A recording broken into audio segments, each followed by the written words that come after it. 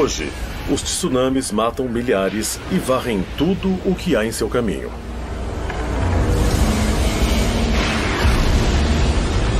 Terremotos destroem cidades inteiras e furacões exterminam paisagens, deixando centenas de mortos e milhares de desabrigados. Desde que a Terra existe, acontecem desastres naturais. Mas esses desastres são mesmo capazes de varrer todos os vestígios de nossa existência, incluindo a arte, a arquitetura e a tecnologia? As evidências sugerem não só que isso é possível, mas que já aconteceu várias vezes. É bem possível que civilizações antigas tenham sido destruídas num grande desastre natural sem deixar rastros. O desenvolvimento lento de simples caçadores e coletores das sociedades muito complexas não parece mais ter sido tão gradual. Nos últimos anos, cientistas encontraram evidências de culturas antigas e que foram um dia prósperas milhares de anos mais velhas do que se imaginava. Mas o que aconteceu a elas? Como elas desapareceram? E isso poderia acontecer de novo? A mãe natureza vai cobrar um preço muito alto por este planeta. Seria a grande ruína da humanidade. Estamos mesmo destinados a ser varridos da face da Terra e nos tornarmos só mais uma civilização perdida. Civilização perdida.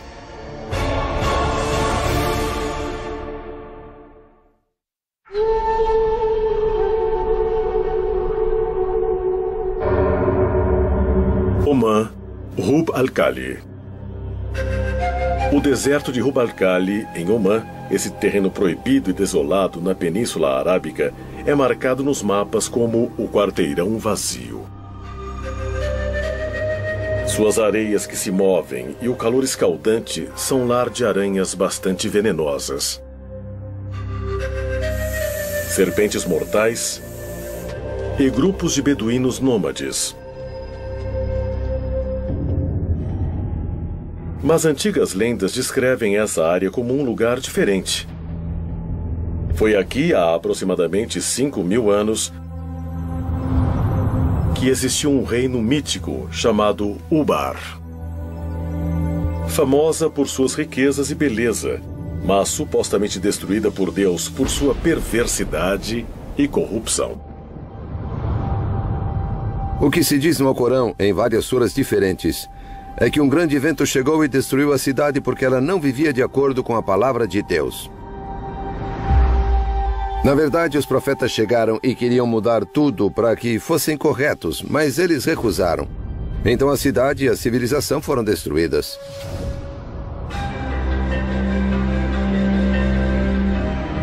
Durante séculos, historiadores e exploradores buscaram provas da existência de Ubar. Mas foi necessária uma combinação incomum de tecnologia espacial e arqueologia tradicional para encontrar evidências de que o bar pode ter sido mais do que um mito. Em 1983, o arqueólogo amador Nicholas Klepp chegou à NASA com um pedido diferente, que resultou numa expedição conjunta à Península Arábica.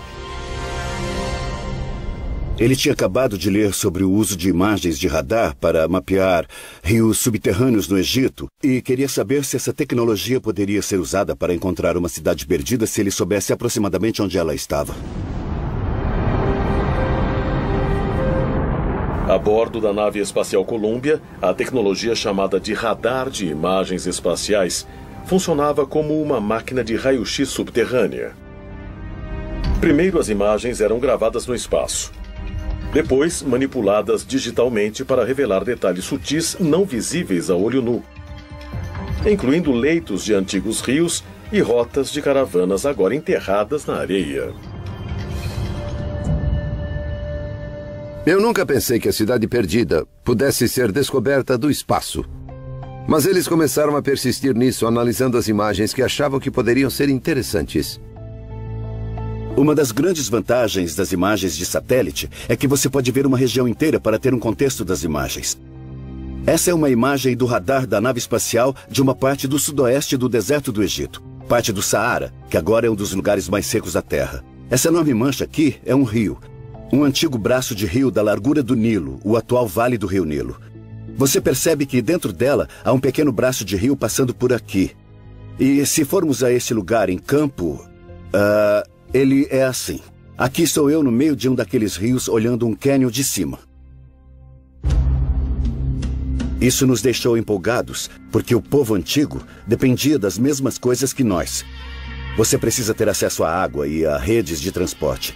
Então pudemos ver a relação dessas diferentes características e, na verdade, vimos rastros na área. Assim, isso aqui se tornou um ponto de partida na procura por Ubar.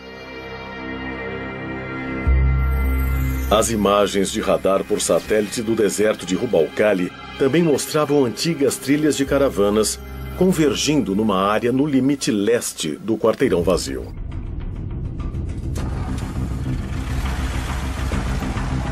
Usamos o que era uma tecnologia nova para pessoas comuns, o sistema GPS.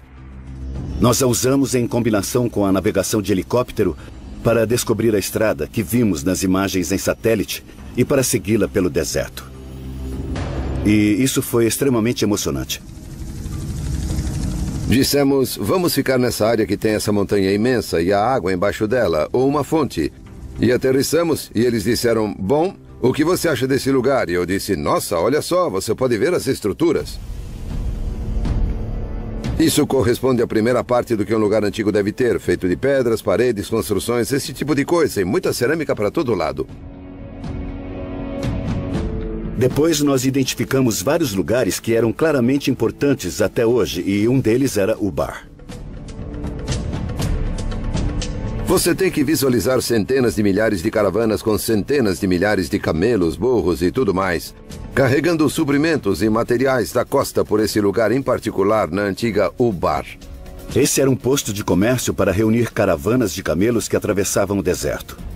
Havia, na verdade, uma fortaleza lá, mas ela só guardava o suprimento de água, que era uma maneira das caravanas de camelos serem controladas. Se quisesse uh, passar pela área, tinha que pagar seus impostos. Outras escavações no local revelaram evidências de oito torres ligadas por paredes de nove metros. Isso se encaixava na descrição de Ubar no Alcorão como a cidade dos pilares. Mas se a lendária cidade realmente existiu, isso quer dizer que outras histórias sobre Ubar seriam verdadeiras? Sua destruição por afundamento na areia, por exemplo, de acordo com os cientistas e geólogos, foi a erosão de um aquífero embaixo da cidade que fez com que o bar desaparecesse.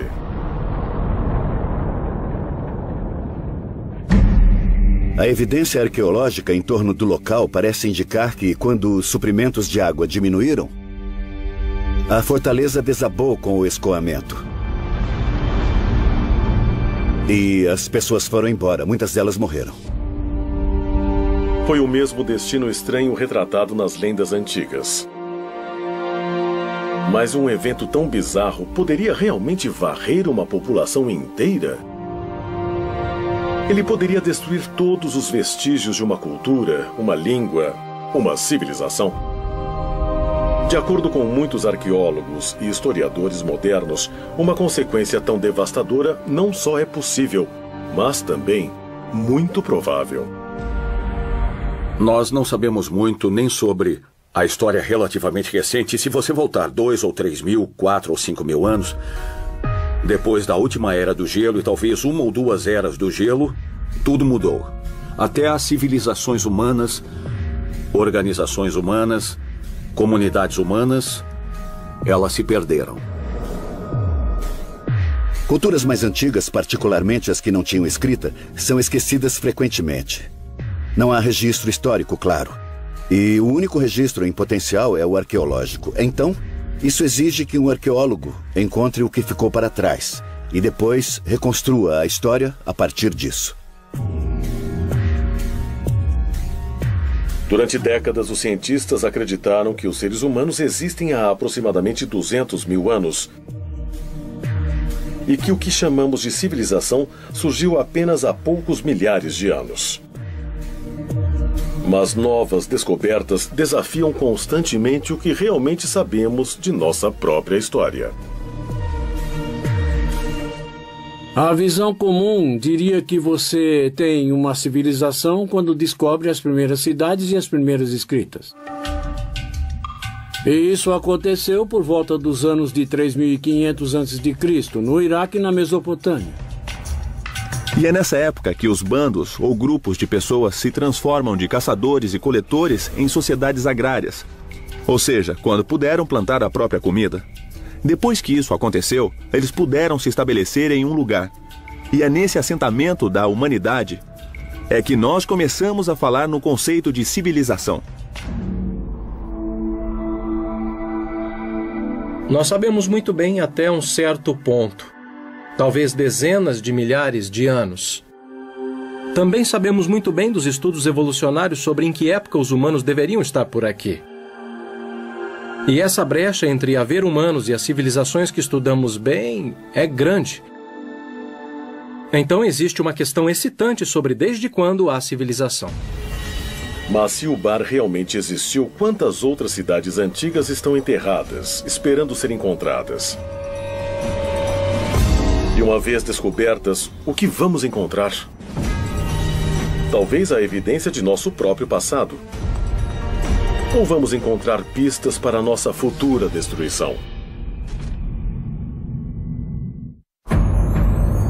Çayırfa, leste da Turquia, 1994. Numa montanha rural, o arado de um fazendeiro curdo parou abruptamente quando ele atingiu uma pedra retangular imensa, enterrada em parte na terra.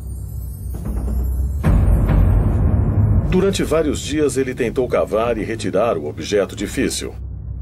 Então, algo inesperado aconteceu. Fazendeiro começou a encontrar evidências de formas estranhas esculpidas na pedra. Logo, sua descoberta atraiu equipes de arqueólogos internacionais até o local. E depois de cuidadosa escavação, uma série de pedras megalíticas imensas foram reveladas. E nelas havia relevos incrivelmente bem preservados de animais, incluindo javalis, raposas, bovinos e várias aves, muitas não nativas da região. Estes são desenhos perfeitamente executados. Alguns leões são realmente incríveis. É bem claro que é um lugar extraordinário. Mas o que foi realmente impressionante é que o local, conhecido como Gobekli Tepe, ou Monte com Umbigo, na Turquia, parece ter 11 mil anos. Quase 5 mil anos mais que qualquer outro local comparável. Gobekli Tepe é um ponto de virada. O que ele significa para os arqueólogos é que nós temos que estender, expandir nossa definição de civilização para incluí-lo. Gobekli Tepe pegou todo mundo de surpresa. Nunca vimos nada igual. Ele mostra uma sofisticação tremenda. É uma descoberta surpreendente para um período tão antigo. Gobekli Tepe é extraordinária. Ela tem 7 mil anos a mais que as pirâmides. As pessoas dizem como os egípcios teriam aquela tecnologia, aquele entendimento em estágio tão primitivo na humanidade. Mas acho que precisamos ver essas ideias sob uma luz completamente nova. Porque Gobekli Tepe tinha 7 mil anos a mais. Nos últimos anos, imagens de radar do local ajudaram a revelar um complexo imenso, mostrando mais de 20 enormes estruturas ovais, cada uma consistindo de colunas megalíticas em forma da letra T, junto com quatro pilares de calcário esculpido, unidos por paredes de pedra de 1,80m de altura e colocadas num círculo de 9 a 30 metros de diâmetro. É óbvio que há um grande planejamento, há uma previsão, há uma habilidade de mobilizar trabalho e manter aquele como um lugar que depois foi visitado por um longo período de tempo. As pedras pesam geralmente de 15 a 20 toneladas cada, apesar de algumas talvez chegarem a 40 ou 60 toneladas. A ideia da organização disso é totalmente assustadora, eu diria. É claro que você teria que ter centenas, se não milhares de pessoas envolvidas nesse projeto de construção. Mas quem construiu Gobekli Tepe? Para que propósito ela servia? Gobekli surpreende no sentido de que pensávamos num desenvolvimento gradual de simples caçadores e coletores das sociedades muito complexas, mas ele não parece mais ter sido tão gradual. O escavador do local acredita que o local é o centro de uma região. Ele discute isso porque o local é uma área muito impressionante e quando você chega lá, sente que pode ver um mundo dali. Alguns arqueólogos acreditam que tribos nômades da era neolítica viajaram grandes distâncias até Gobekli Tepe para participar de celebrações rituais. Outros acreditam que as ruínas sejam de um templo ou até de um local de sacrifício. Todos concordam em alguma cerimônia religiosa. Essas coisas devem ser santuários ou centros religiosos de algum tipo. Eles não são só assentamentos, não são cemitérios, parecem ser centros cerimoniais. Muitos pesquisadores acreditam que Gobekli Tepe esteve em uso por quase dois mil anos. Mas em 7000 a.C., os círculos de pedra podem ter sido enterrados propositalmente e abandonados. Mas por quê? Por que você enterraria esse complexo incrível de ao menos 20 estruturas diferentes, ou talvez muito mais que isso. Minha melhor explicação possível é que algo mudou e eles precisaram ir embora. E a melhor maneira de fazer isso era simplesmente enchendo a área toda. As pessoas não abandonam as coisas. Esses locais são tão sagrados ou importantes que, quando abandonam, o soterram e cuidam dele de alguma maneira e depois reconstrói em cima ou perto ou algo do tipo. Gobekli é assim. Temos evidências claras de que as pessoas soterraram intencionalmente os templos, ou o que quer que fossem, antes de seguirem para outro lugar. Eu acho que algo mais profundo acontecia aqui. Você tem que ver a linha do tempo. Estamos no final da última era do gelo, um período de transições imensas. E há evidências de que houve algum tipo de catástrofe nesse tempo, possivelmente causada pelo impacto de um cometa ou um asteroide no continente norte-americano. E há evidência disso pelo mundo todo. Foi nesse período de tempo que Gobekli Tepe foi construída. Temos que nos perguntar por quê. E talvez a resposta seja que eles precisaram fazer isso. Acontecia alguma coisa. Uma catástrofe global causada pelo impacto de um cometa ou um asteroide? Essa pode ser mesmo a resposta sobre o que forçou os antigos habitantes de Gobekli Tepe a abandonar o lugar? Ou teriam sido as consequências de uma catástrofe que fizeram o local ser construído como templo ou lugar de agradecimento? Alguns pesquisadores acreditam que a resposta pode ser encontrada por perto, no Monte Ararat, que, de acordo com a Bíblia hebraica, é o lugar em que a arca de Noé chegou para ficar depois que as águas do dilúvio baixaram. Quando olhamos o Monte Ararat, descobrimos que esse local fica a apenas centenas de quilômetros de Gobekli Tepe.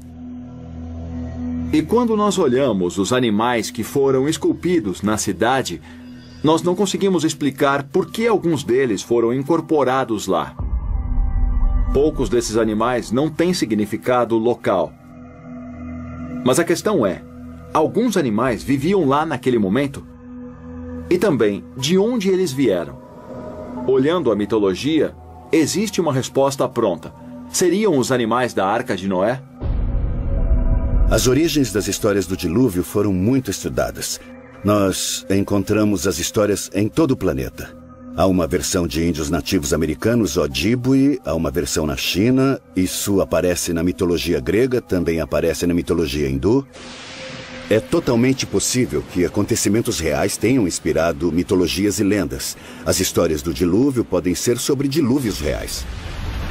Os mitos e as histórias sobre o grande dilúvio e o resgate de vários animais a bordo de uma arca realmente são baseados em fatos? Talvez a resposta possa ser encontrada no estudo de outras civilizações perdidas e no que elas podem revelar sobre o passado misterioso e o futuro incerto da humanidade.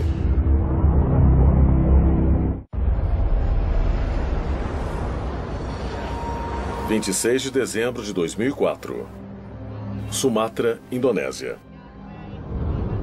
Um mega terremoto de magnitude 9.1, gerado a centenas de quilômetros no Oceano Índico, desencadeou um tsunami devastador. Em minutos, mais de 230 mil pessoas morreram e mais de 2 milhões ficaram desabrigadas.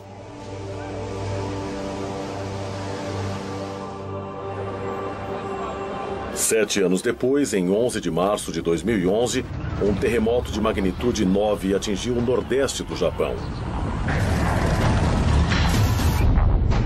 O terremoto mais poderoso que já atingiu a ilha. Minutos depois, um tsunami de 9 metros varreu o país, arrastando cidades inteiras. Aproximadamente 23 mil pessoas.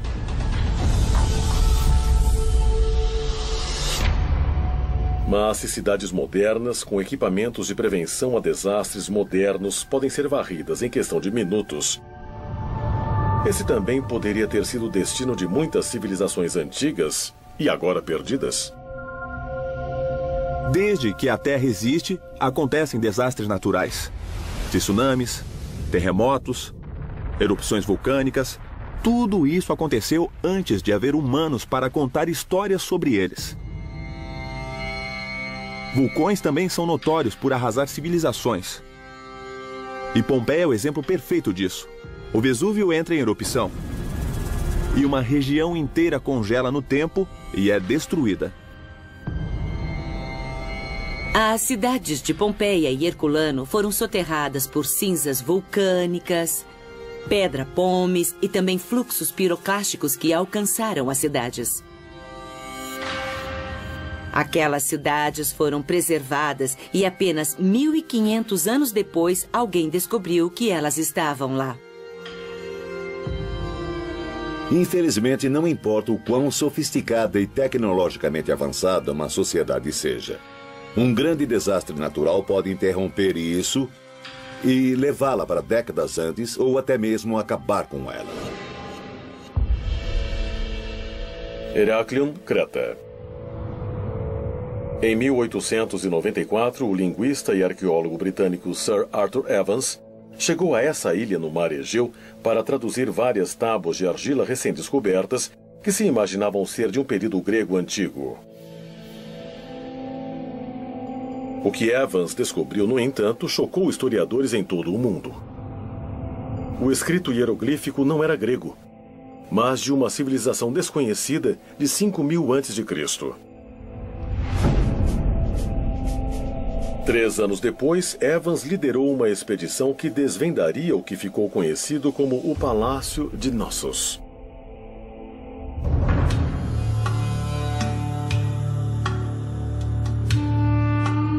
De acordo com arqueólogos, a estrutura imensa um dia conteve salas lindamente decoradas, água corrente quente e fria e até banheiros internos.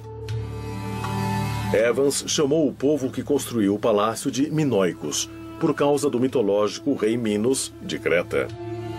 A civilização minoica era a superpotência do leste do Mediterrâneo na era do bronze. Tinha uma frota enorme e fazia comércio com praticamente todos os povos do Mediterrâneo. A civilização minoica de Creta era uma sociedade que começou a desenvolver uma série de palácios bem elaborados com jardins para cerimônias, pinturas, afrescos e arquitetura bem elaborada. Os minoicos agora são considerados a primeira grande potência no Mediterrâneo. Seu reino se estendeu aproximadamente de 2500 a 1600 a.C. Mas como um povo tão poderoso e tecnologicamente avançado simplesmente desapareceu? Muitos pesquisadores acreditam que a resposta possa ser encontrada examinando uma das maiores erupções vulcânicas da história da civilização, na ilha de Tera, 112 quilômetros ao norte de Creta. A erupção de Terra aconteceu em duas ou três fases, no período de alguns dias ou algumas semanas. O que achamos que aconteceu é que houve alertas suficientes porque não encontramos esqueletos em Terra como encontramos em Pompeia e em outros lugares. As pessoas devem ter tido a chance de deixar a cidade. Mas o resto das pessoas, por exemplo, em Creta, não podia esperar que a erupção do vulcão as afetasse como realmente afetou. Na vulcanologia, falamos em diferentes tipos de erupções vulcânicas, desde as brandas, geralmente com fluxos de lava, a erupções plinianas, e também temos as ultraplinianas, se forem muito grandes. A erupção de Terra foi uma erupção pliniana, ou talvez até ultrapliniana, foi muito explosiva. Essa erupção incrivelmente explosiva destruiu muito da ilha. O céu escurece, a nuvem da erupção se espalha e começa a depositar cinzas. O que é encontrado até em lugares como Rhodes e o sudoeste da Turquia. Em outras direções, a evidência da erupção pode ter sido sons de explosões ouvidas ao longe no momento. Agora acredita-se amplamente que a violenta erupção vulcânica em Terra gerou um imenso tsunami que foi na direção das cidades portuárias de Creta. O que temos aqui é uma maquete do mar Egeu no leste do Mediterrâneo e do vulcão de Terra. Então, o que vamos ver é o que acontece logo depois da erupção do vulcão. Primeiro, há o que chamamos de onda de preenchimento, quando a caldeira do vulcão desaba. Ela forma um vazio no mar e aí a onda começa a se espalhar e se mover em direção à ilha de Creta. Era exatamente aí que os minóicos viviam. Essa é a onda inicial, ela começa a se espalhar. Aqui é Creta e em 20 ou 25 minutos a onda alcança Creta. O tamanho da onda, ao atingi-la, acaba variando entre 4 e 9 metros. Para entender como deve ter sido para os minóicos, podemos ver o que aconteceu no Japão em março de 2011. É um tsunami imenso e vemos diariamente o impacto na sociedade. Claro que os japoneses podem superar, mas eles não estavam sozinhos. O mundo inteiro ajudou. Imagine os minóicos naquela época sem ter a quem recorrer.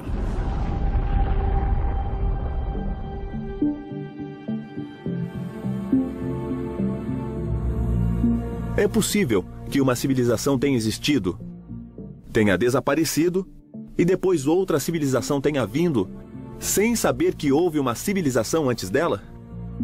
Essa é uma teoria fascinante que leva a todo tipo de especulação, porque muita gente, sabe, fica querendo saber se e perguntando se poderia haver uma civilização na Terra que fosse predadora de outras civilizações. E isso nós não sabemos.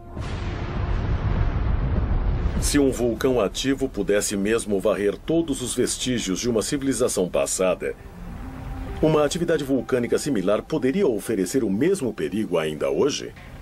Pesquisadores de vulcões dizem que sim, e se preocupam com a possibilidade de uma catástrofe dessas ameaçar a costa leste dos Estados Unidos. A ilha de La Palma, próxima a Tenerife, nas Ilhas Canárias, tem algumas falhas e imagina-se que grande parte dela possa escorregar para o mar. E se isso acontecer, ela pode causar um imenso tsunami. O colapso de um vulcão nas Ilhas Canárias, como Cumbre Vieja e La Palma, pode produzir um nível de estrago por volta de 20 mil quilômetros de linha costeira desde Newfoundland e a costa leste dos Estados Unidos, seguindo para o Caribe e o norte do Brasil. O que as maquetes dizem é que quando as ondas chegarem à costa leste dos Estados Unidos, elas estarão por volta de 10 ou 20 metros de altura.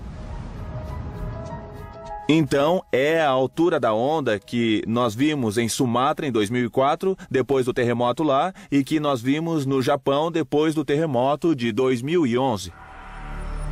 Mas um desastre natural, como uma erupção vulcânica, um terremoto ou um tsunami, pode realmente destruir todos os vestígios de uma civilização? Destruí-la tão completamente que mude a história da humanidade por séculos? Talvez a evidência possa ser encontrada em uma tumba antiga cheia de ouro,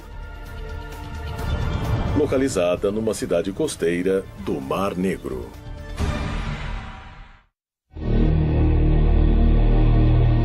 Varna, Bulgária. Durante séculos, essa cidade de veraneio no Mar Negro atraiu viajantes e negociantes de toda a Europa e do Oriente Médio. No século II d.C., os romanos se aproveitaram da primavera quente do local para construir uma série de banhos públicos. Mas nenhum desses visitantes, nem mesmo os locais, sabiam do segredo que havia enterrado bem abaixo da cidade. Um segredo que mudaria a história europeia para sempre depois de revelado. Tudo aconteceu no final do outono de 1972. Havia um plano de fazer uma construção na área industrial de Varna. E eles escavavam tudo para a colocação de cabos de eletricidade. Um operário, Reicho Marinov, estava cavando um buraco de um metro e vinte quando viu o que pensou ser um antigo artefato de cobre. Marinov levou a peça para casa por segurança. E depois de algumas semanas, alguém da aldeia disse a ele: Oh, puxa, mas que coisas interessantes você encontrou. E o diretor do museu de Daugopol foi à casa desse operário. Quando viu tudo, ele ficou absolutamente chocado. No dia seguinte, arqueólogos do Museu de Varna, incluindo Alexander Minchev, foram ao local da construção e ficaram impressionados com o que encontraram.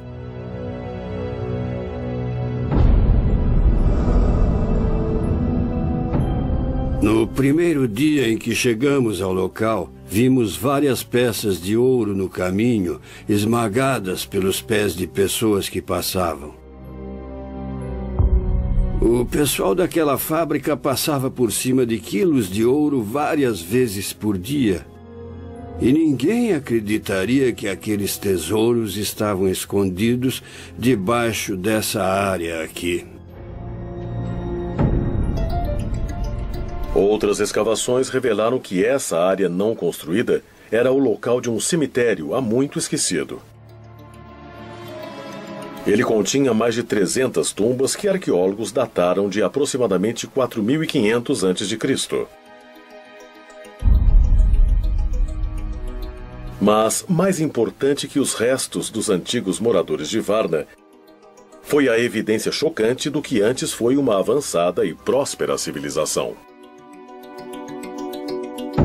Muitas tumbas com restos humanos foram encontradas, com os corpos colocados em diferentes posições, geralmente com a cabeça para o norte ou nordeste.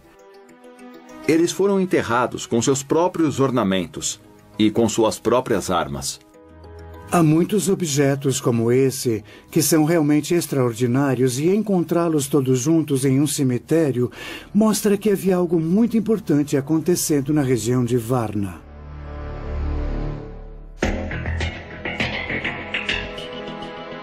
Dentro das tumbas havia mais de 15 mil artefatos de design complicado, incluindo machados de cobre, de jade e quantidades significativas de joias em ouro.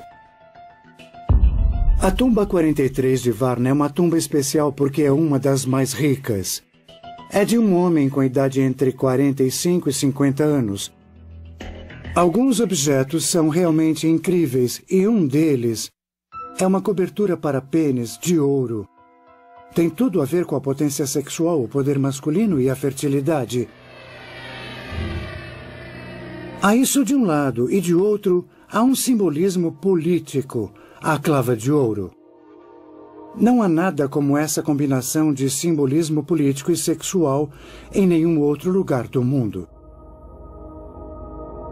O ouro é um indicativo de status. É um material raro, chama a atenção, não mancha, é durável. Ele tem todas essas propriedades que o tornam um bom indicativo de status social e ostentação. Apesar dos arqueólogos terem encontrado objetos de ouro em muitas tumbas, a maioria deles estava concentrada em algumas poucas. A descoberta inesperada de Varna destruiu a visão dos antigos europeus que os historiadores tinham. Nos assentamentos que conhecemos de mil a dois mil anos antes de Varna, há objetos e geralmente são objetos lindos. Mas não são tantos de status e não há muita diferença entre as famílias. Pode-se dizer que há oito tumbas realmente ricas dentro de trezentas. Então é uma concentração significativa. Acreditava-se que Durante o período pré-histórico, as pessoas fossem iguais. Elas trabalhavam juntas, dividiam tudo que podiam colher e não havia diferença. Nenhuma diferença social, nada. Eles deviam ser como nós. Eles apreciavam ouro e também joias, tinham ferramentas muito úteis. Então, sim, eles não eram diferentes de nós, eram iguais.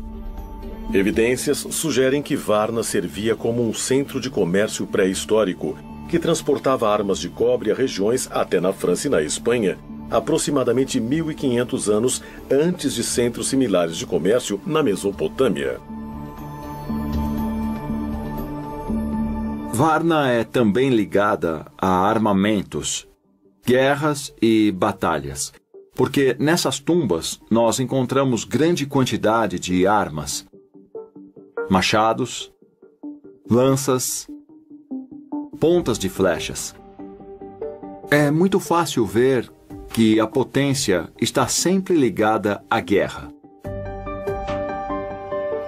Antes de Varna, claro que conhecíamos outras sociedades complexas que agora sabemos que são da Era do Bronze. Descobriu-se Stonehenge, que também era considerado uma dessas sociedades complexas, mas Varna tem ao menos 3 mil anos mais que Stonehenge.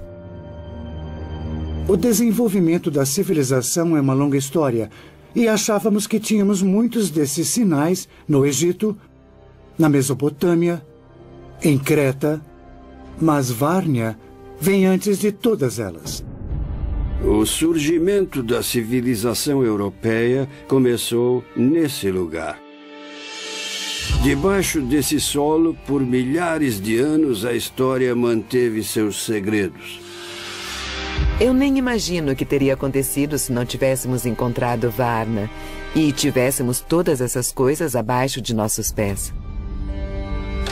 Mas o que ainda é um mistério é como a população de Varna desapareceu por volta de 4100 a.C. Ficou provado que em algum ponto do quinto milênio, provavelmente por volta de 4200 a.C., houve uma mudança dramática no clima. E por causa disso, o nível de água subiu, junto a temperaturas muito mais altas. Por causa disso, as condições para a agricultura ficaram bem pior do que antes. A mudança climática, talvez uma mudança que causou seca e fome, pode ser a causa do desaparecimento de Varna? Recentemente, escavações arqueológicas em locais no Oriente Médio forneceram novas informações. Muitos arqueólogos e estudiosos acreditam que tais descobertas ajudarão a resolver o mistério sobre o que realmente aconteceu a Varna e a outras cidades perdidas. Mas há aqueles que apontam para evidências diferentes e mais incríveis. evidências de desastres naturais e cataclismos de proporções globais e até nucleares. Evidências que sugerem que nosso tempo pode estar acabando.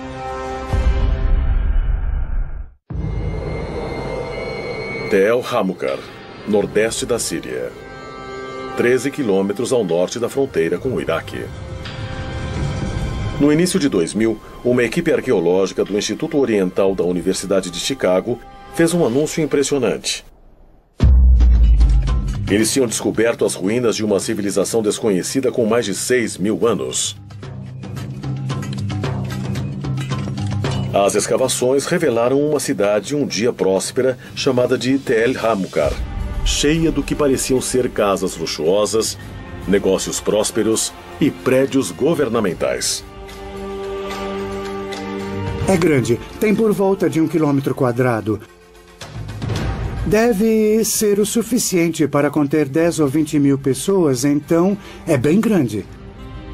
Quando era próspera, quase certamente tinha uma escrita. Os prédios públicos foram escavados apenas até um certo ponto, mas havia um muro grande em torno deles e portões imensos. Esses elementos de civilização ainda precisam ser recuperados porque hoje estão debaixo de cidades modernas. Hamulkar demonstra que nossa noção de cidades, ou seja, com divisão de trabalho, com leis e sistemas legais, estruturas de governo, desenvolvimento artístico e expressão, pode ter acontecido muito antes do que nós acreditávamos. A descoberta surpreendente de Tel Hamukar demonstrou o que estudiosos já consideravam um fato. Que a primeira cidade antiga de verdade tinha surgido ao sul da Mesopotâmia, 643 quilômetros mais ao leste do que agora é o Iraque. Mas se Tel Hamukar era uma cidade tão grande e próspera, por que desapareceu de repente? Por volta de 3500 a.C., eles tiveram um mau dia. Houve claramente um dia em que aconteceu um ataque.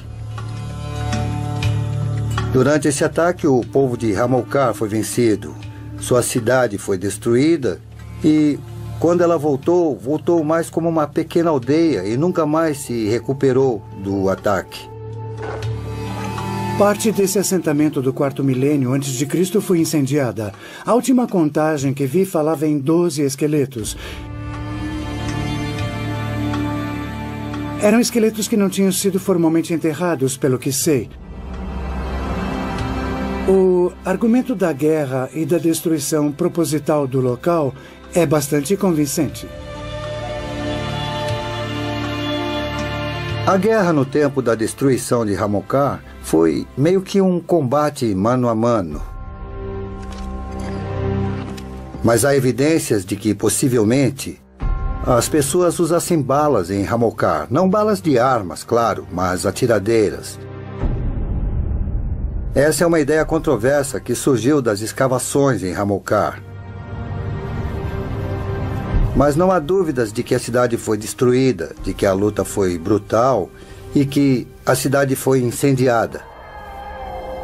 O interessante é que, naquela época, você tinha as cidades do sul, como Uruk, que se desenvolviam, e sabemos disso há muito tempo. Mas há novas evidências de que locais como Hamokar criavam seu próprio tipo de civilização ao mesmo tempo.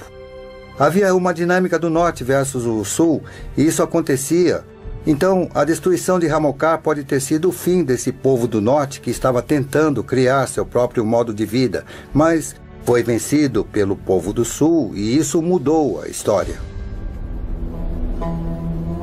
Centenas de quilômetros a oeste de Tel Hamukar estão as ruínas de outro assentamento antigo, Tel Caramel.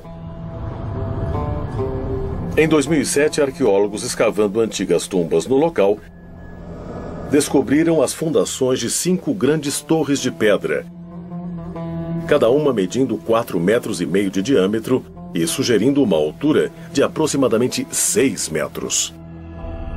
Imagina-se que elas tenham ao menos 10 mil anos de idade. Elas estão localizadas ao norte da Síria, não muito longe de Gobekli Tepe, e é bem óbvio que estamos lidando com a mesma cultura aqui. Por que exatamente elas foram construídas é um mistério. A resposta mais óbvia é sugerir que são defensivas e que podia haver predadores, animais ou humanos. Claro que a pergunta é: para que elas eram usadas? Eram parte de uma fortaleza real?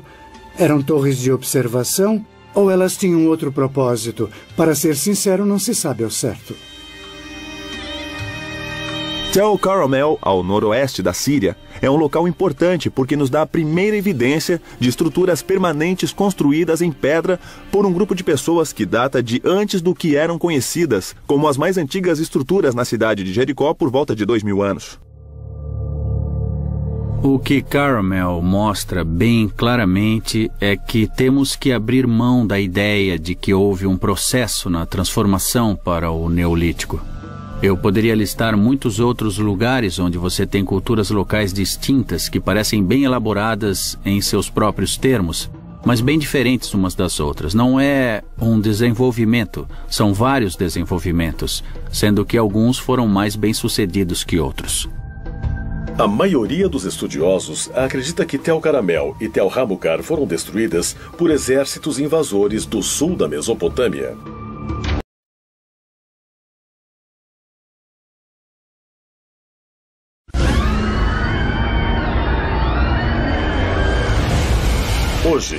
Os tsunamis matam milhares e varrem tudo o que há em seu caminho.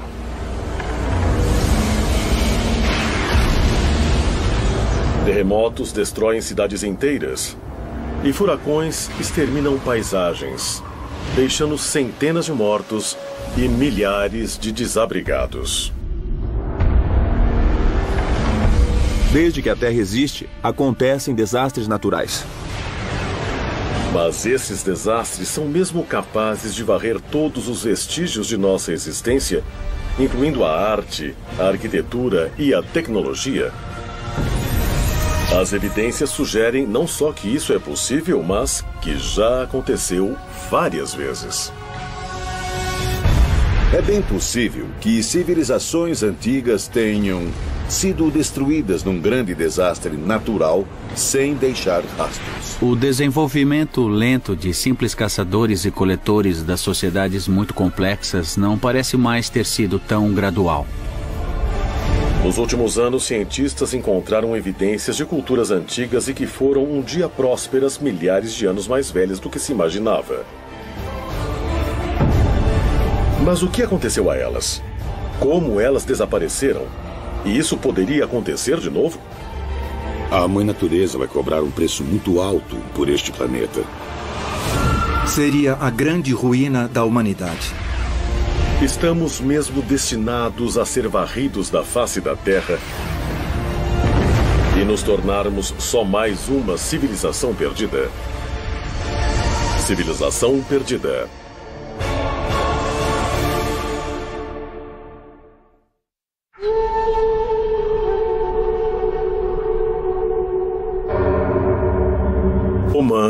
Ruba. o suficiente e temos um reator nuclear. O que pode acontecer com um reator natural é um desastre na escala de Chernobyl. Uma liberação de radiação que poderia afetar a saúde das pessoas. Uma explosão de fissão nuclear que pode acontecer com urânio em um cenário natural é certamente algo que você não quer que aconteça. Mas ela é tipicamente subterrânea.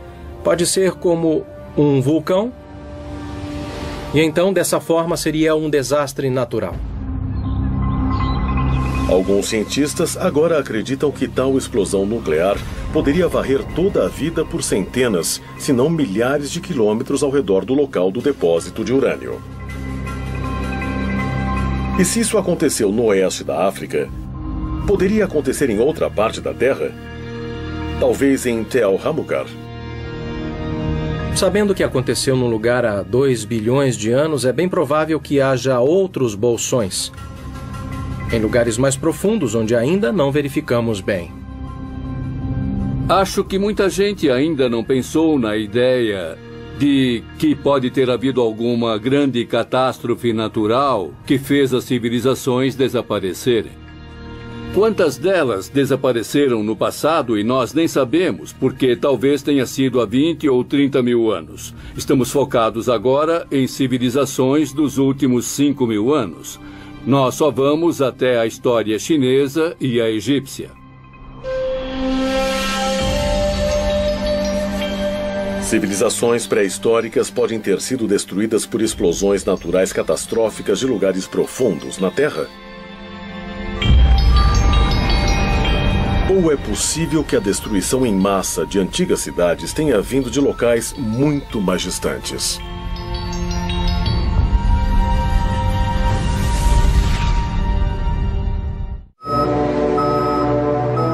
(21 de dezembro de 1968) Missão da NASA Apollo 8.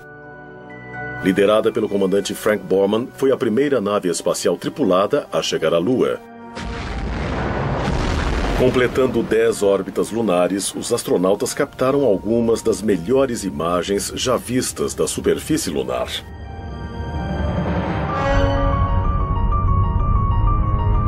As fotografias mostram a Lua totalmente marcada por milhares de enormes crateras, evidências que sugerem a alguns que a Lua um dia foi lugar de atividades vulcânicas violentas. Mas as evidências modernas mostram que houve outro motivo, talvez mais significativo para as inúmeras crateras da Lua, grandes impactos de asteroides, asteroides que podem ter bombardeado também a Terra.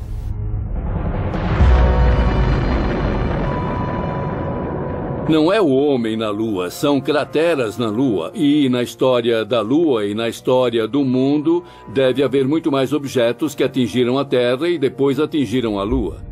O único motivo de não sabermos deles na Terra é por termos vegetação e termos um ambiente coberto. Isso os torna menos detectáveis. O maior desastre natural que pode acontecer e que pode nos varrer, sabe, é um grande impacto. Um meteorito caindo na Terra. Sabemos que o impacto de um meteorito foi o que fez com que os dinossauros desaparecessem.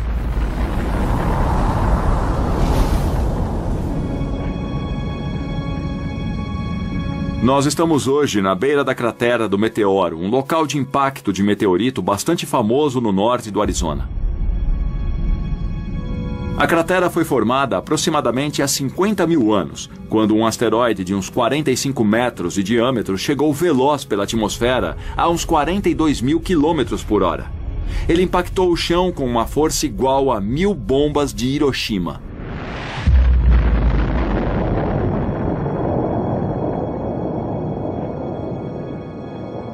Depois do impacto, só restou a cratera.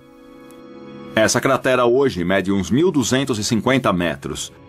Tem 4 quilômetros de circunferência e 167 metros de profundidade. Isso é como ter o monumento de Washington dentro dela, e o topo do monumento estaria na altura da borda da cratera. Então, se um evento como esse ocorresse numa área tão populosa como Nova York, Estimamos que a área com perda de vidas poderia chegar a mais de 16 quilômetros. Em junho de 2002, aconteceu algo que pode ter sido um alerta para todos nós. Um asteroide do tamanho de um campo de futebol passou entre a Terra e a Lua. Ele cobria um terço do espaço até a Lua. Nós nem sabíamos que ele estava lá até depois de ter passado por nós. Se ele caísse no Pacífico, poderia varrer o sul da Califórnia com um tsunami. Algo com um poder tão destrutivo passou tão perto da Terra e nem sabíamos que ele estava lá até ter passado direto por nós. Uh, não podemos deixar esse tipo de perigo passar despercebido no futuro. Em 2005, a NASA começou a mapear os maiores asteroides conhecidos no espaço e que tinham possibilidade de atingir a Terra. Eles são conhecidos como objetos próximos à Terra. Um objeto próximo da Terra é um cometa ou um asteroide no espaço perto da Terra, nas cercanias da Terra. É, tecnicamente é um objeto que pode estar entre 45 milhões de quilômetros da órbita da Terra. Os tamanhos dos objetos podem ir de uma bola de golfe a um quarteirão de uma cidade e até mais. Vários meteoros do tamanho de bolas de beisebol entram na atmosfera da Terra diariamente e queimam na atmosfera superior. Apenas asteroides de ao menos 30 metros de diâmetro têm a chance de atingir a superfície de nosso planeta. Um dos impactos mais recentes de um asteroide com a Terra aconteceu em 30 de junho de 1908, na região de Tunguska, na Sibéria Russa. Um objeto de 30 a 40 metros chegou na atmosfera da Terra e a pressão da atmosfera na parte da frente do asteroide pequeno foi tão maior que a pressão na parte de trás que ele foi esmagado e explodiu, uns 6 quilômetros acima da superfície da Terra.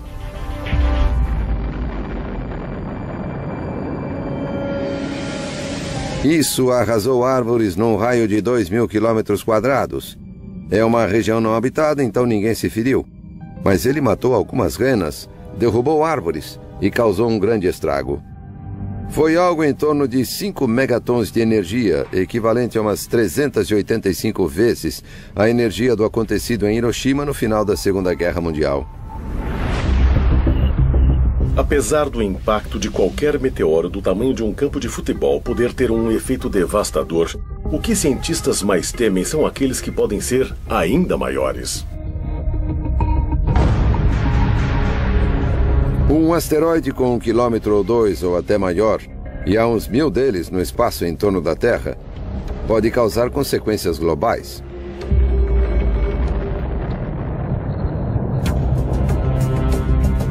Mas esse não é o grande problema. O grande problema é a poeira e as partículas jogadas na atmosfera da Terra, que podem tapar boa parte da luz do Sol. Pode haver uma chuva ácida, tempestades de fogo, quando algumas dessas partículas caem na Terra, causando incêndios globais. E a fuligem contribui para a poeira e impede boa parte da fotossíntese, necessária para a vida das plantas e, claro, aos animais que vivem dessas plantas. Então, os efeitos secundários é que são o verdadeiro problema no impacto de um asteroide. Quando nós lidamos com possíveis impactos de asteroides ou de meteoros na Terra, eles podem causar o Aniquilamento não só de populações de organismos vivos, mas de civilizações inteiras, e eles já fizeram isso. Nos últimos anos, a equipe de objetos próximos à Terra na NASA aumentou sua pesquisa para incluir objetos de mais de 140 metros de diâmetro. Um deles, um asteroide de 300 metros chamado Apophis, é esperado para passar perto da Terra em 2029. Apophis é dos grandes. Foi descoberto em 2003 e, por um tempo, parecia que realmente atingiria a Terra. Ele tinha uma em 37 chances de atingir a Terra em 2029. Mas observações adicionais nos permitiram descartar o impacto em 2029. Pode vir bem perto. Vai ser um objeto visto a olho nu por pessoas na Europa. Então você vai ver um asteroide se aproximando da Terra, mas ele não vai bater. Mas apesar de cientistas mapearem o curso de Apophis, eles não podem prever como o imenso asteroide pode ser afetado por outros fatores, como a gravidade da Terra. A parte assustadora é que ele passa e volta sete anos depois. E não sabemos se sua trajetória será afetada pela gravidade da Terra e se ele pode vir em direção a ela. Se passar por uma brecha de 600 metros no momento dessa aproximação maior em 2029, ele vai voltar e atingir a Terra em 2036. É um objeto grande o suficiente para criar não o fim do planeta, mas que pode custar centenas de milhares, se não milhões de vidas, se atingir o lugar errado. Infelizmente, cientistas dizem que não é uma questão de ser, mas de quando um grande asteroide vai colidir com a Terra. Mas quando isso acontecer, todos os vestígios de nossa civilização estarão perdidos? Um asteroide poderia descer, uma rocha gigante vinda do espaço, criando um efeito devastador no ecossistema e fazendo tudo morrer. É possível apagar uma espécie inteira. É possível apagar um registro completo de tudo que existe. Isso também pode ajudar a explicar por que outras civilizações antigas foram destruídas e quase esquecidas? Acho que é bem possível termos civilizações mais antigas que, de alguma forma, foram apagadas por um objeto que desceu na Terra e mudou toda a natureza do planeta. Não somos Chicken Littles. Eu sei que é assim que pensam de nós, que somos Chicken Littles dizendo que o céu está caindo. O céu não está caindo, mas pode haver algo lá em cima vindo em nossa direção. Se nosso planeta for atingido por um meteoro em nosso tempo, há providências que podem ser tomadas para minimizar sua devastação? Estamos suficientemente preparados para evitar a perda de séculos de avanços tecnológicos que a humanidade conseguiu até aqui? Ou somos ainda mais vulneráveis do que acreditamos? Monte Kilimanjaro, na Tanzânia. No ano de 2000, o paleoclimatologista Lonnie Thompson e uma equipe de pesquisadores perfurou profundamente uma geleira que cobria o pico da montanha. Lá, eles coletaram amostras de gelo que revelaram evidências de condições climáticas e suas mudanças não só nas últimas décadas, mas de dezenas de milhares de anos. Um núcleo de gelo é uma coluna de gelo. Tiramos uma série deles da superfície para ter a, a história do clima e do ambiente em diferentes partes do mundo. Esses núcleos têm camadas anuais bastante distintas e se pode medir a grossura dessas camadas. Você pode medir como a precipitação mudou com o tempo. Existe o registro de uma história da composição antiga de nossa atmosfera nas bolhas de ar que são preservadas no gelo. Então, agora temos história de 800 mil anos de pesquisas de coisas como dióxido de carbono, metano, óxido nítrico. Você pode até ver micro-organismos presos no gelo. Nós ressuscitamos organismos que estiveram no gelo por mais de 50 mil anos. Então, tudo o que está no ar é arquivado no gelo. Então, o que vemos lá são períodos de calma e depois períodos em que há cataclismos. Essa é a realidade da vida no planeta Terra. Se vai de uma coisa a outra. Universidade de Ohio, fundada em 1870. Guardados aqui em imensos freezers na Universidade de Ohio, há amostras de gelo que Thompson coletou de geleiras por todo o mundo. Temos mais de 7 mil metros na sala agora. É a única coleção tropical de gelo no mundo. Temos núcleos lá do Kilimanjaro, temos gelo de Franz Joseph Land no Ártico Russo. Temos uma boa coleção de gelo do Himalaia e do Tibete. O núcleo mais antigo perfurado numa região montanhosa do oeste da China. Ele tem mais de 750 mil anos.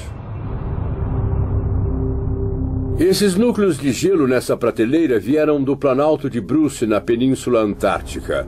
Eles foram perfurados ano passado e serão cortados e depois processados no laboratório.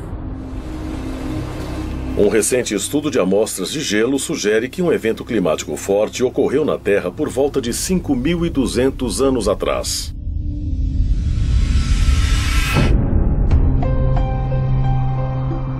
Essa mudança brusca coincidiu com um tempo em que muitas civilizações novas surgiam na Ásia e no Oriente Médio. Parece que em todo o mundo algo novo começava a acontecer. E uma das minhas curiosidades é por quê? Por que aconteceu naquele tempo? Por 100 mil anos vivemos perfeitamente vidas felizes como caçadores e coletores. E de repente as coisas mudaram. O que pode ter feito isso acontecer? Você deve procurar um denominador comum. E o que une todas as sociedades agrárias é o clima. Sabemos que foi o período em que o deserto do Saara secou. Quatro, cinco mil anos atrás havia lagos naquele deserto. Pessoas viviam lá. Sabemos disso porque elas deixaram artes nas rochas. Há muita evidência de que alguma coisa bem dramática aconteceu naquele tempo. Mas se uma catástrofe global ocorreu, o que a causou? Pode ter sido uma seca mundial? Um meteoro pode ter batido na Terra e levantado pó suficiente para bloquear o Sol? Ou a causa foi uma erupção vulcânica? Erupções vulcânicas são muito importantes se falarmos de um planeta. É como um planeta que perde seu calor primordial. Tivemos erupções vulcânicas na Terra por bilhões de anos. Os humanos só viveram uma fração muito pequena desse tempo. Então, as erupções vulcânicas estão aqui muito antes de nós estarmos. Elas estarão aqui muito depois que nós nos formos. Elas são parte essencial do que é a Terra. Mesmo existindo vulcões ativos em todo o mundo, a maioria é muito pequena para causar devastação global. A não ser, claro, que seja um supervulcão. A ideia é de que existem vulcões que consideramos normais. Eles liberam uma certa quantidade de lava, uma quantidade de energia, uma quantidade de explosão. Se você tem um vulcão onde a lava e os gases estiveram bem vedados, isso vai criar uma pressão extra. E quando escapar, vai ser uma explosão ainda maior. E isso é classificado como um supervulcão. Há vulcões na Terra que são capazes de erupções muito grandes. Em geral, os vulcões em torno do Anel de Fogo, os vulcões que têm caldeiras, como os da Nova Zelândia, de Papua Nova Guiné ou do Alasca. Cientistas identificaram ao menos sete supervulcões ao redor do mundo. O maior fica debaixo do Parque Nacional de Yellowstone, em Wyoming. O pensamento comum em geofísica sobre Yellowstone e sobre alguns outros lugares na Terra é de que há uma concentração de calor nas profundezas que forma uma região de derretimento parcial da rocha, e isso é constante. A ideia é de que isso, de vez em quando, pode criar uma erupção muito grande. De acordo com os cientistas, a erupção mais recente em Yellowstone ocorreu há aproximadamente 600 mil anos. Quando Yellowstone vai fazer isso de novo é completamente desconhecido para nós. Não temos como saber. É como prever o tempo ou alguma coisa geológica. Você sempre vai ter uma margem de erro na previsão de quando vai acontecer. Yellowstone é um vulcão relativamente novo. Todas as erupções aconteceram nos últimos 2 milhões e meio de anos e isso é pouco em termos geológicos. Se Yellowstone entrasse em erupção de novo, uma erupção cataclísmica seria incrível. Seria algo que não vimos em tempos registrados. O Monte St. Helens pareceria uma bobagem comparado ao que Yellowstone poderia fazer. Isso teria efeitos globais no clima. Resfriaria a temperatura média da Terra e devastaria o oeste dos Estados Unidos. Cobriria tudo de cinzas. Então, a agricultura se perderia. Os efeitos durariam algum tempo. Teria um grande efeito na civilização. As cinzas e os gases venenosos emitidos numa grande erupção podem criar uma nuvem pelo mundo, bloqueando a luz do sol por muitos anos. Na escuridão, as colheitas e os animais do mundo morreriam, deixando os humanos passando fome. Se Yellowstone explodisse hoje, com grandiosidade, seu impacto na humanidade seria bem maior do que foi no passado, porque há muito mais pessoas. Nós temos 7 milhões de pessoas a mais no mundo a cada mês. Isso é sem precedentes. Então temos vulnerabilidades para as quais não estamos preparados. A sociedade moderna é frágil, da mesma maneira que algumas sociedades antigas de larga escala eram. Há muita gente em volta. Confiamos muito no uso intenso dos recursos naturais. E claro que degradamos esses recursos já que usamos tanto. Muitas pessoas acham que estamos numa situação clássica de colapso. Os humanos são muito dependentes da natureza. Nós esquecemos disso no mundo moderno. Mas há forças por aí muito maiores do que qualquer um de nós. E essas forças estão ativas e tiveram impacto nas culturas e nas civilizações do passado. Desastres cataclísmicos globais podem parecer ficção científica. Mas acredite se quiser, muitos governos e empresas se preparam para tais eventos. Infelizmente, uma grande pergunta paira diante deles: seus planos funcionarão?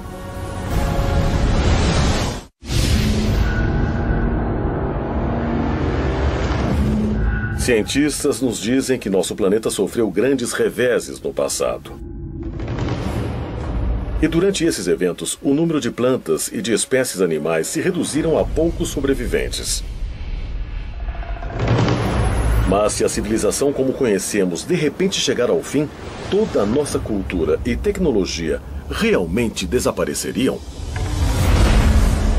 Há muitos exemplos na história de povos Povos do passado que tinham tecnologias ou entendimentos que, que se perderam.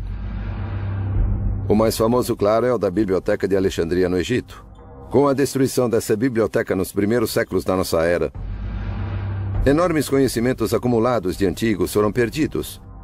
E não era só o registro dos egípcios, claro, era da maior parte do mundo clássico. O que acontece a uma civilização se todo o seu conhecimento reunido for destruído? Nós nunca vamos saber que grande civilização nós poderíamos ser hoje, porque a biblioteca de Alexandria foi destruída. Havia tanto conhecimento, especificamente muito conhecimento médico, que os egípcios tinham e que não temos mais.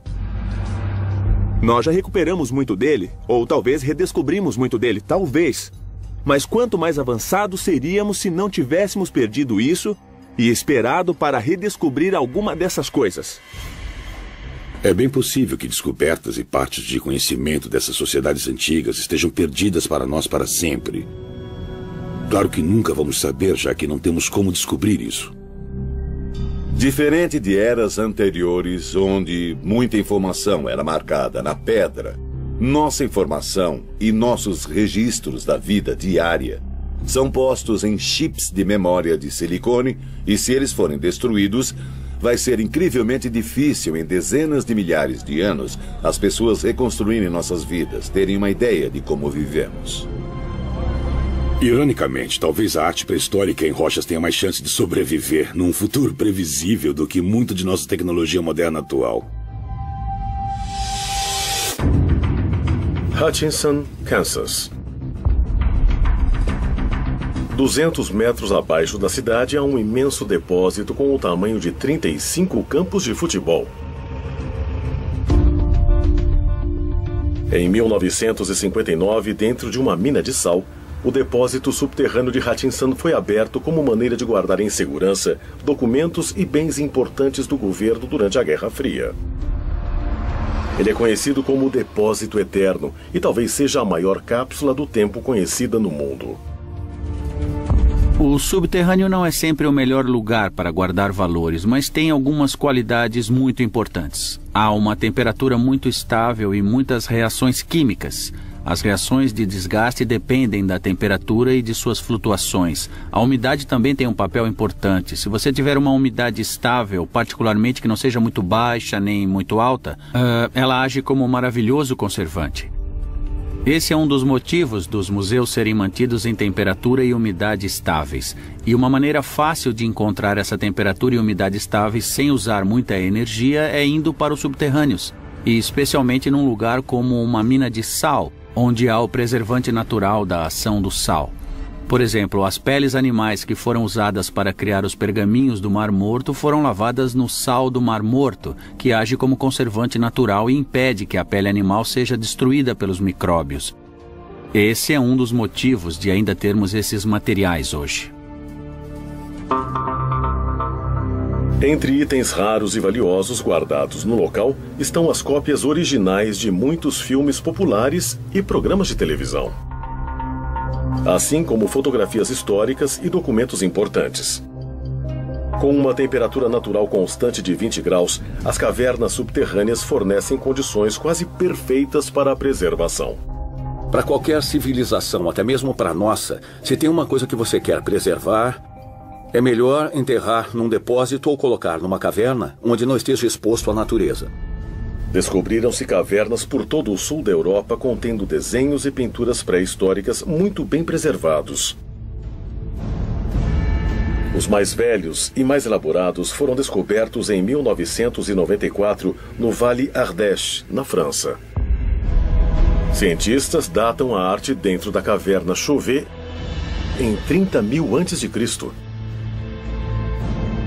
A caverna é uma das mais decoradas da maior era do gelo que encontramos. E isso é impressionante. Nunca tínhamos visto uma desse tamanho naquela região. É incrivelmente rica, há umas 400 pinturas e gravuras de animais. Lindas representações de cavalos, rinocerontes, ursos, uma enorme gama de imagens. Essas são imagens extraordinárias de animais que não pareceriam fora do lugar em galerias modernas de hoje. A idade e a qualidade das pinturas na caverna Chauvet puseram em dúvida tudo o que se conhecia e se acreditava antes sobre a existência do homem nesse planeta. Elas são vistas como as obras de arte mais antigas criadas por humanos. O interessante na caverna Xavier é que estamos lidando com Homo sapiens que estão tentando representar pensamentos e ideias abstratas nas paredes das cavernas bem antes da invenção da escrita e bem antes de qualquer definição de civilização. A questão é, por que fizeram isso? Esses artistas antigos criaram sua arte em paredes de pedra dentro de cavernas para as protegerem para futuras gerações? Daqui a 30 mil anos, os únicos vestígios de nossa existência seriam os que estão guardados em segurança nos subterrâneos? Algo gravado em pedra, se estiver no ambiente certo, uh, facilmente dura milhares, se não talvez milhões de anos, se for num local subterrâneo. Numa ilha remota norueguesa, 240 metros ao sul do Polo Norte, e a quase 120 metros de profundidade numa montanha de areia, está o depósito global de sementes Svalbard. Seu propósito é ser uma segurança contra a perda acidental da vasta gama de plantas e plantações de comida da Terra. Mais de 20 milhões de sementes são armazenadas aqui. As sementes são guardadas em minas de carvão abandonadas, que são locais muito estáveis. Algumas sementes podem durar muito tempo, outras precisam ser plantadas para crescer e depois serem colhidas. Então, não é um ambiente estático. Lá, as sementes têm de ser constantemente renovadas e constantemente trocadas por outras de todo o mundo. Acho que o banco de sementes é feito expressamente para um evento que destrua a civilização.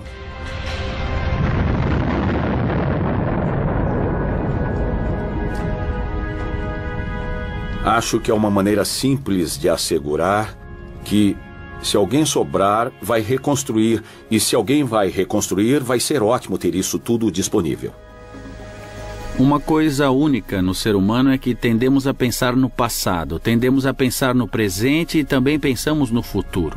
Podemos imaginar o que queremos passar para os nossos netos. Essa é uma das motivações para todas as pessoas. Então, enterrar uh, alguma coisa ou colocá-la num local seguro para o futuro, acho que é algo que até povos antigos podem ter pensado. Se antigas civilizações preservaram propositalmente evidências de seu conhecimento e tecnologia avançados em cavernas e outras estruturas subterrâneas, esses tesouros escondidos podem nos ajudar a resolver o mistério de quem somos e de onde viemos. E talvez ainda mais importante, nos dirá quanto de nossa própria civilização vai sobreviver no futuro? Podemos mesmo desaparecer do planeta sem deixar rastros? O planeta Terra, de acordo com os cientistas, foi formado há aproximadamente 4 bilhões e meio de anos. Mas a maioria dos estudiosos acredita que a humanidade só existe durante os últimos 200 mil anos. Mas é possível que esses estudiosos estejam errados? As civilizações humanas teriam existido na Terra centenas de milhões de anos atrás e depois perderam suas evidências enterradas debaixo da superfície do nosso planeta? Acho que é possível, visto que a pré-história humana é medida em milhões de anos e estamos agora medindo a civilização em dezenas de milhares de anos, que haja uma brecha de algum tipo de civilização que podemos ter perdido. Há uma grande questão pelo fato de ter havido civilizações no passado que simplesmente sumiram sem deixar rastros. Um milhão de anos atrás, 100 milhões de anos atrás, você ainda está só uma fração de toda a vida da Terra. Há 100 milhões de anos havia dinossauros andando pela Terra. E se houve alguma forma de vida que veio antes deles um bilhão de anos no passado? Não tem como saber e também nem como dizer que isso nunca poderia ter acontecido. Se a Terra sofrer um desastre global, o que pode acontecer à raça humana? O que aconteceria se nossa civilização inteira fosse varrida por uma erupção vulcânica gigante. Que tornasse toda a atmosfera tóxica e todos nós morrêssemos, nós teríamos que aprender como cozinhar com o fogo novamente? Quanto tempo isso levaria? Os sobreviventes estarão em regiões distantes e abrigadas. Eles serão caçadores e coletores novamente até os milhares de anos necessários para que reconstruam a civilização. Se antigas civilizações forem mesmo perdidas, é possível que vestígios da sociedade de hoje também sejam enterrados debaixo da terra e sejam esquecidos. Pegamos Chernobyl, por exemplo, se virmos como a construção moderna se deteriorou rápido. Em 50 anos, muito da infraestrutura se deteriorou significativamente. Se alguém anunciasse hoje, Nova York, vão todos embora. Abandonem a cidade. Daqui a mil anos ela estaria soterrada por escombros debaixo d'água. A maioria dos prédios já teriam desabado há muito tempo. Tem mais um fator aí, os 10 mil anos. Não imagino que possa existir alguma coisa que alguém reconheça. Você teria que saber o que procura para encontrar.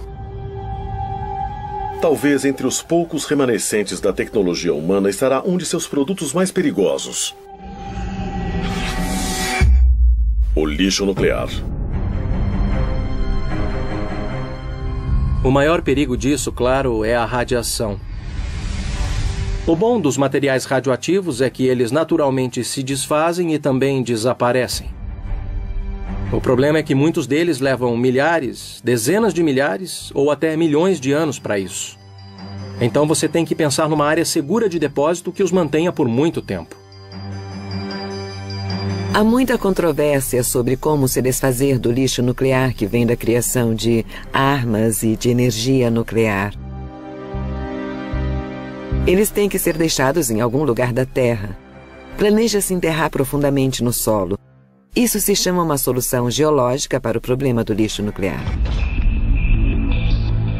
O Departamento de Energia americano contratou uma equipe de estudiosos para trabalhar com engenheiros nos locais propostos para o derramamento de lixo nuclear. Lá, eles esperam colocar um aviso universal que possa ser compreendido por futuros humanos por ao menos 10 mil anos. Eles precisam pensar numa mitologia que avise as pessoas que há perigo ali. De algum modo devem pensar numa tradição que será perpetuada e passada pelas gerações e manter o aviso, fazendo com que as pessoas fiquem seguras do lixo nuclear. O plano atual em consideração é de um trabalho enorme para cercar todo o local. Quando terminada, a cerca vai medir 10 metros de altura e 30 de largura. O projeto inclui também uma série de marcadores de granito, cada um com 7 metros de altura, gravados com avisos em várias línguas. Mas uma série de sinais de aviso criptografados pode realmente ter efeito? Ou eles serão apenas misteriosos e inescrutáveis como as gravações de Gobekli Tepe, ou nos megalitos de Stonehenge. Você não vai colocar um crânio com um X de ossos. O que isso pode significar para alguém até daqui a 500 anos? Que tipo de linguagens você pode botar nele? Como não cabe aqui ou afaste-se? Isso é um grande desafio. Na vasta história de nosso planeta, a atividade humana ocupa menos de 1% de sua vida de 4 bilhões e meio de anos. Mas somos mesmo apenas um traço residentes temporários destinados a serem esquecidos em mais outros 100 mil anos ou menos? Eu acho que os seres humanos são capazes, infelizmente, de acabarem uns com os outros. Podemos destruir a raça humana, mas não podemos destruir a Terra. A Terra está aqui há bem mais tempo que nós e estará bem aqui mais tempo que nós. Se todo vestígio de nossa civilização pode ser destruído tão facilmente, como historiadores podem estar certos de que tudo o que vivenciamos não aconteceu antes?